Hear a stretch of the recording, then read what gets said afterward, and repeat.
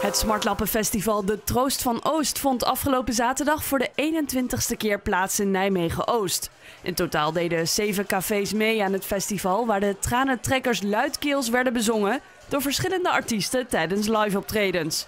Met optredens van onder andere de Anita's, John en Jacqueline en Patrick Verdriet werden de bezoekers niet alleen getrakteerd op veel bier, maar ook op sentimentele levensliederen en meezingers.